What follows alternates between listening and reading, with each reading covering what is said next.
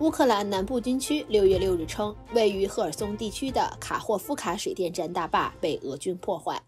乌方正在确认破坏程度、水流速度等情况。乌克兰赫松州州长普罗克丁在声明中指控俄军此举是另一起恐怖行为，指出倾泻而下的洪水五个小时内就会达到临界水位，目前已经对危险区域进行疏散作业，呼吁居民尽一切可能救自己。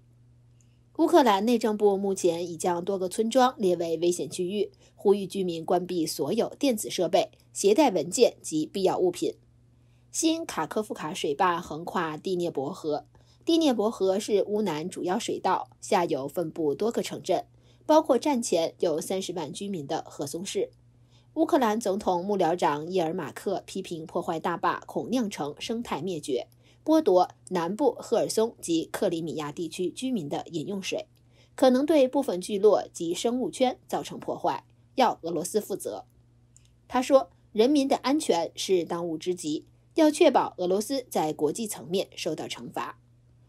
乌克兰总统泽连斯基痛批大坝遭破坏，向全世界证实了俄军必须被逐出乌克兰每一个角落。他将与乌克兰国家安全与国防事务委员会召开紧急会议。国际原子能总署评估，大坝洪水泄出不会构成立即核安风险。美国两党近日达成的提高美国国家债务上限的新协议，对一些接受补充营养援助计划 （SNAP） 福利的大多数年龄在十八岁到四十九岁之间、没有孩子的成年人提出了工作要求。根据预算和政策优先中心的最新研究，这一变化可能会导致近七十五万五十至五十四岁的成年人失去联邦食品援助。SNAP 也被称为食品券，每月为低收入个人和家庭提供购买食品的资金。这些受益人在三年期间可能只有三个月有资格领取福利金，除非他们能满足某些条件，例如证明他们正在工作，或每周参加至少二十个小时的职业培训，或者他们属于特定的豁免类别，如怀孕、残疾或者存在身体或精神状况使他们无法工作。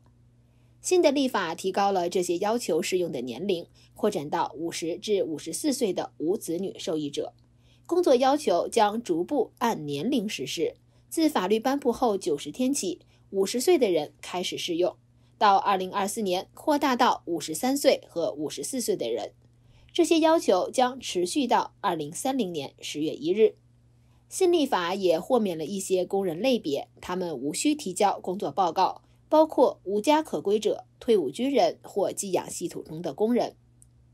这些变化将减少 SNAP 的支出，并限制了获得援助的人数。但一些专家担心，这些举措可能会对有需要的家庭产生影响。六月五日，美国最高法院裁定，加州的第十二号提案立法将继续有效，它将在二零二三年七月一日成为法律，合规性将在年底前进行自我认证。从二零二四年一月开始，第三方认证将是强制性的。该法案俗称培根法，在2018年由选民投票通过，是一项反虐待动物法案，要求在加州销售的猪肉禁止宰笼养猪，必须来自至少在24平方英尺的空间内被饲养的母猪所生下的猪。对此，美国农场联合会和总部位于爱荷华州的全美猪肉生产者委员会早前提起了诉讼。他们说，虽然加州人消费了美国百分之十三的猪肉，但几乎百分之一百的猪肉都来自于加州以外的地方，包括爱荷华州、明尼苏达州、伊利诺伊州、印第安纳州和北卡罗来纳州。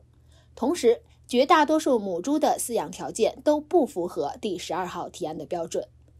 拜登政府曾敦促大法官站在猪肉生产商一边，并在书面文件中告诉法院。第十二号提案将全面改变这个国家的猪肉饲养和销售方式，它给美国的猪肉市场带来了巨大冲击。行业组织表示，这项法律将意味着代价高昂的全行业变革，全美猪排和培根价格或将上涨。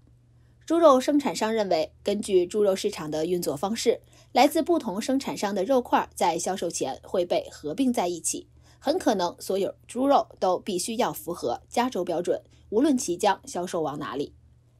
他们表示，遵守第十二号提案可能会使该行业损失二点九亿至三点五亿美元。动物权利组织则对这一决定表示欢迎。